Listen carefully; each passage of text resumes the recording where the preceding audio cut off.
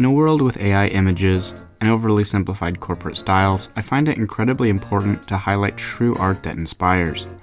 These three masters, Kenneth Rocafort, James Stokoe, and Howard Porter, all put pen to paper in a way that cannot be fully recreated by a computer, or even other artists. Their talent cannot be overstated, but I'm sure as hell going to try. Kenneth Rocafort's creativity spills out of him as fiercely as graphic design pumps in his veins. His brother and father are both graphic designers, and Kenneth himself creates art as spiky and detailed as it is dynamic. He wears his love of early image, particularly Cyberforce, on his sleeve, eventually going to work on the series himself. His hatching is always in overdrive, and I recommend you take a few extra minutes to look closer at his more detailed pieces. If you go back far enough on his Instagram or check his YouTube, you can see how incredible he is at drawing at a minuscule scale, in these amazing fingernail sized notebooks. Rocafort draws beautifully in physical form, utilizing bright colored pens, pencils, and brushes. Mr. Rocafort has worn many hats, working as a character designer, video game box artist, and storyboard artist, as well as many more. His art has the feeling of pre production concept art, and his portfolio fits the bill. Perhaps this conceptual looking style is why his run on the Ultimates with Al Ewing works so well. The characters are literally working with abstract beings. His final issue exemplifies his out of the box thinking style, depicting Thanos controlling and menacing the pages, as well as the panels, gutters, and our main characters. I could look at the art of the Ultimates for days, and I don't think another medium could create an experience quite like what's seen here. His style is great for everything from energy effects to Red Hood's gunshots to sideways portals. Look at the bizarre shapes his panels take, as well as the tiny extra flourishes he adds outside them. It all comes together, turning each comic book page into a unified or gestalt piece, each panel fitting in like a puzzle. The perspective and framing really makes his art pop in works like Teen Titans, Superman, Velocity, and Cyberforce Hunter Killer.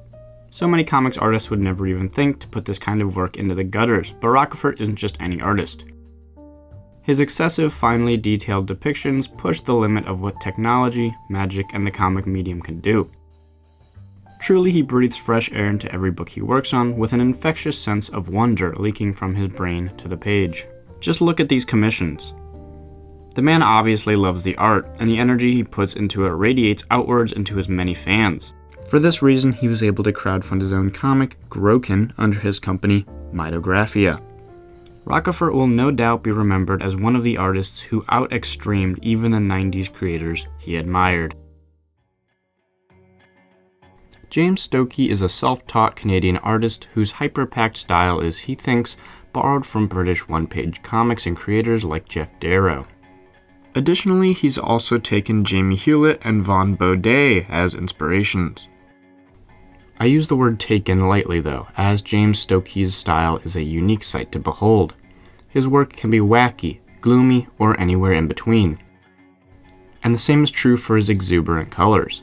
Stokoe tends to color his own works, now generally working with a color assistant. His earlier work, like Orc-Stain for Image Comics and Wonton Soup for Oni Press, are a great look into his style, featuring all the crazy and phallic photos one could fathom. Sullivan's Sluggers is a kickstarted work of his I've recently been reading, and it's glorious, featuring trademark Stokoe lettering and symbols in the speech bubbles. His line work is intense and meticulous. Stokoe often dabbles in fantasy and tribal stories like Orphan and the Five Beasts, and does a damn good job at it, yet his work drawing industrial worlds and environments fits like a glove. Stokoe often ends up drawing soldiers like in Aliens Dead Orbit or Godzilla the Half Century War. Leave it to Stokoe's pieces to reground these classic franchises with refreshing new artwork. Thankfully, Stokoe was able to achieve his dream of drawing a Godzilla series not once but twice. In the first issue of Godzilla in Hell, Stokoe's oddball style is put to incredible use, showing what an afterlife hellscape would look like to a living force of nature. Stokoe's spectacular symbolic hellscapes are welcome, as Godzilla media these days seem to want the monster to be as far away from an analog for the atomic bomb as possible.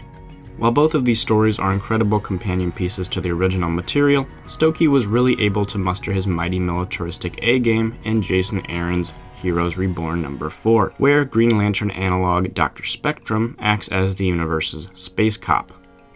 The over the top dialogue, coloring, and constructs all combine to create a true spectacle. And in the 100th anniversary Avengers special, not really their 100th anniversary, but 100 years in the future, he melds fantasy, futuristic, and post apocalyptic sensibilities in this great two page spread. As you can tell, Stokoe is great at depicting massive set pieces.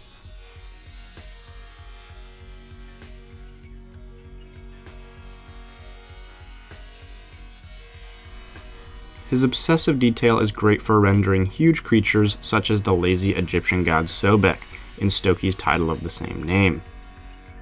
He doesn't plan all these little details, quote, it just kinda happens.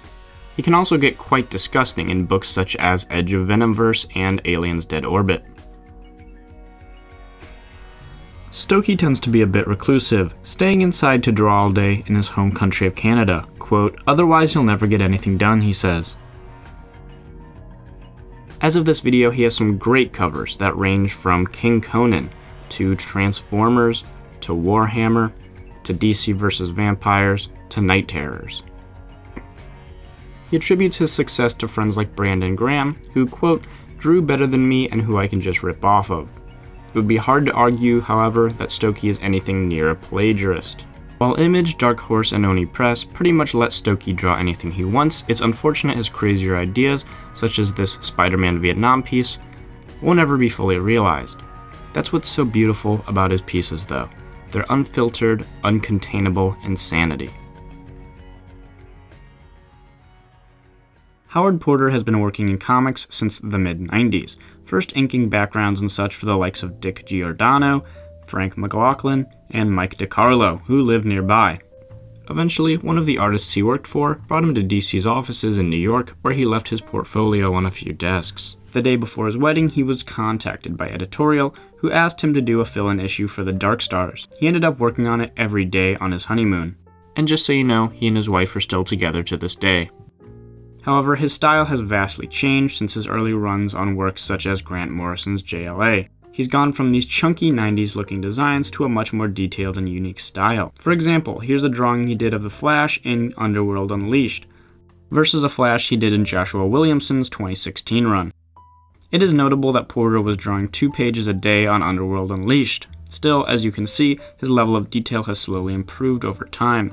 His ability to do his own inks puts him ahead of a lot of artists, and he does a fantastic job at it. His process is doing tight pencils, scanning, darkening, and inking in Photoshop, then adding gray tones. He does sometimes ink physically though.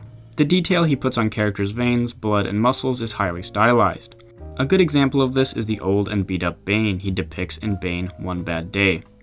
Porter has worked extensively on the Justice League with distinctive designs on characters from the future Justice League in Justice League 3000, as well as seafaring versions of the Justice League in JL Drowned Earth. Porter really brought his character design skills to the max for this arc's seafaring fun.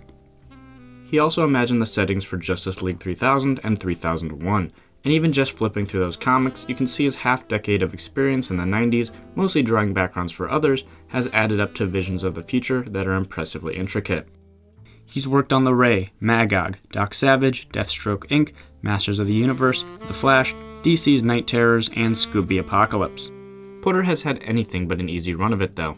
After his Justice League run with Grant Morrison, the immense pressure and a feeling of inadequacy led him to leave comics for a bit to work as a graphic designer, where he learned Photoshop. He did eventually return to comics, this time to Marvel, getting to draw his favorite franchise with Mark Waid in the pages of Fantastic Four. But around 2006, he accidentally cut his hand, severing a nerve and almost the entire tendon of his thumb, forcing him to take a job driving a school bus until late 2008. I would not wish such a fate upon anyone. Thankfully, he picked himself up and returned by holding the pencil in a slightly different fashion, and has graced us by co scripting and drawing some fantastic modern pieces. His panels in Flash Year 1 and Bane One Bad Day are impeccable, adding an extra layer of graphic oomph to his stories, truly melding the medium into the narrative. Porter is an inspiration on how to use panels effectively, every single one adding to the overall layout of the page a skill he's honed over the last three decades. Porter has drawn everything from a UFC poster to Gatorade bottle labels, so here's to the exciting work that lies ahead of him. By the way, thanks to Comics Coast to Coast for the podcast interview where a lot of this info came from. Everything that appears on a comic page doesn't just magically materialize. Every artist has to find their particular direction, improve on it, and all too often start over fresh to master something new. So support your favorite ever improving creators because their work is the only reason we have such a distinctive library of comics to pull from. And remember, the best comics art will not only challenge the artist, but it should challenge you as well. The only question left to ask is how will you contribute?